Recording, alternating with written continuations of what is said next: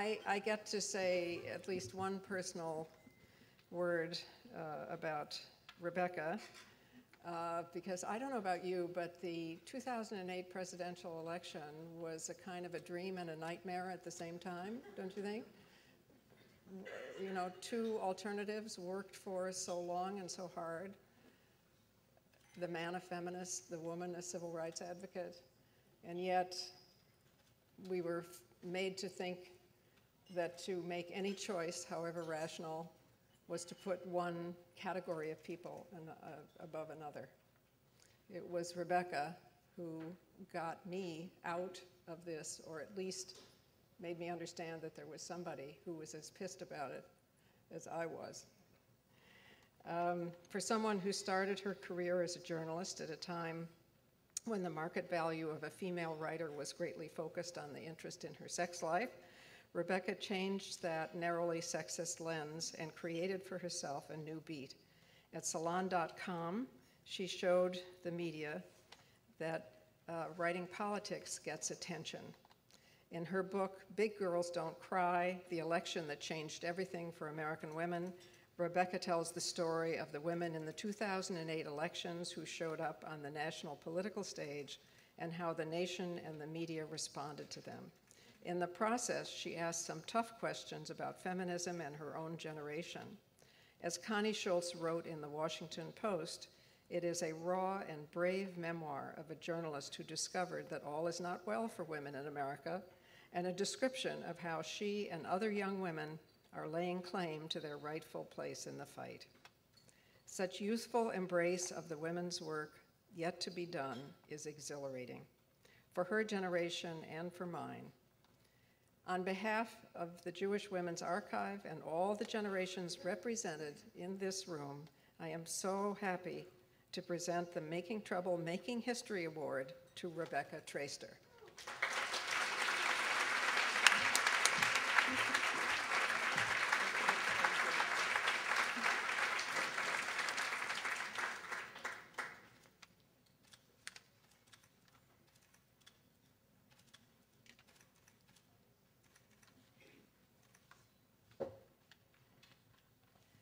Thank you so much. Um, I couldn't be more honored to be receiving this award from Gloria Steinem, whose work has inspired and invigorated and excited and engaged me from long before I was even a journalist, perhaps even before I was even a self-identified feminist. Um, I'm also incredibly honored to be receiving it alongside Elizabeth Sackler and Letty Cottin Pogrebin. I'm in such wonderful company. It's deeply humbling. Um, Thank you so much for having me.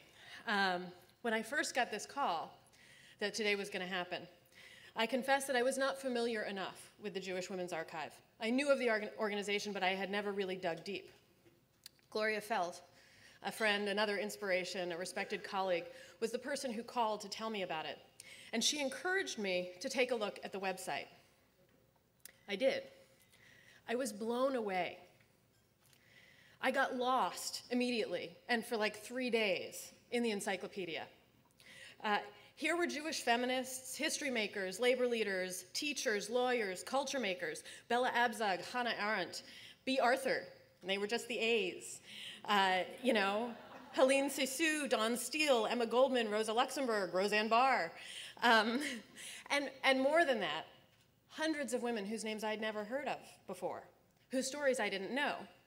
These were women united by faith or by culture or perhaps just by genetics as Jews, included in this dizzying compendium of achievement and voice. It was a journalist's dream and also a feminist's dream. Um, I also spent time looking at the online exhibits about the feminist movement, about the civil rights movement, about Hurricane Katrina. Um, what the Jewish Women's Archive is doing is what all of us interested in telling women's stories and interested in women's history or as I also like to call it, history, um, what we should all be aspiring to. it's the story of the United States and elsewhere, told through a particular lens, yes, and what might seem like a narrowing lens, but in fact a lens that winds up offering a far broader and more expansive view on everything from science to law to race to medicine to sports to reproductive rights policy. Uh, This is not an especially empowered thing to say, but I confess that one of my first reactions um, was to be slightly flabbergasted that I had been chosen to receive this award. And in part, my concern stemmed from today's theme, making trouble, making history.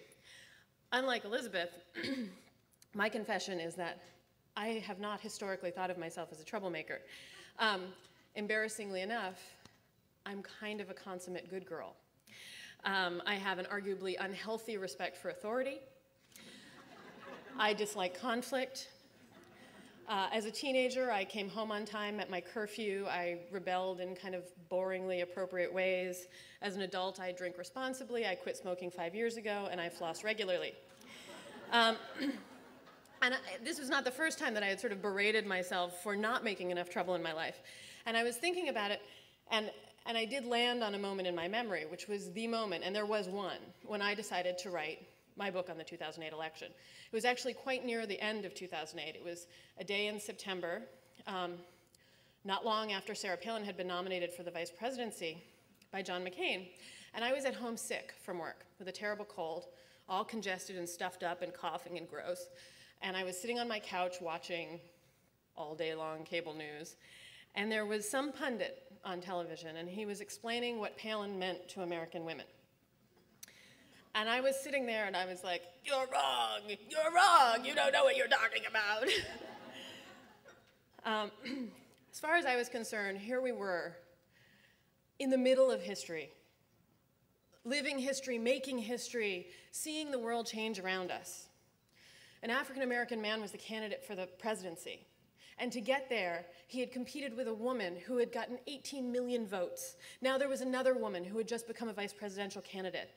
And this guy, some fool on television, was telling me that, you know, women were going to switch from Clinton to Palin because chicks dig other chicks, and that Hillary's candidacy had been a failure of the women's movement, and, you know, Palin was going to be an asset to the Republicans because she was hot. I mean, it was the most egregious thing. And I, I just, I was furious. And I was like, please make it stop. Um, you know, this was coming from this purported authority, the man on the television.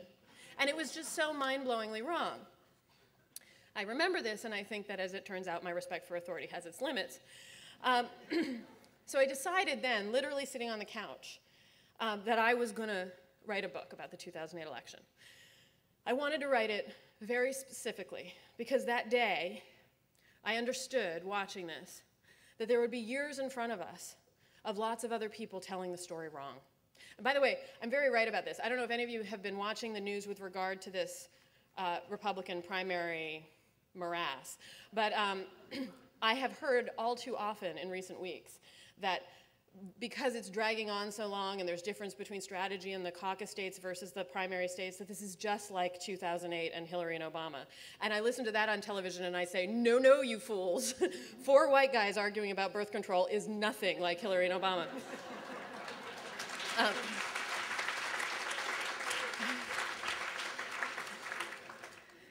uh, I think that perhaps the reason that I'm a journalist, though I really had never considered this until I was forced to reckon with how and if I had ever made trouble, is because I'm really driven to wrest control of stories that I think are important and that are being garbled, and to tell them right, or at least the way that I think is right. And to that end, I want to conclude by touching on another story that I think a lot of people get wrong. It's about young women, um, women far younger than I. For years, I've heard complaints about how a generation of young women takes their freedoms for granted, that they're, that they're apathetic, that they don't call themselves feminists. Um, and I understand why that, that version of the story exists. But here's the story that I think is right that young women, and again, young, I'm 36, I'm talking about women who are in their 20s, I'm talking about women who are in their early 20s, I'm talking about women who are in their teens. They are engaging, working, and making trouble, perhaps in ways that, until very recently, have remained invisible to those outside their cohort. Thanks to technology and the internet, new ways of communicating, what they've been doing is taking control of their own stories and telling them in their ways. They know instinctively, far better than I ever did, how to use their voices, often their virtual voices, to challenge and increasingly gain control over narratives that have been flawed and incomplete for far too long.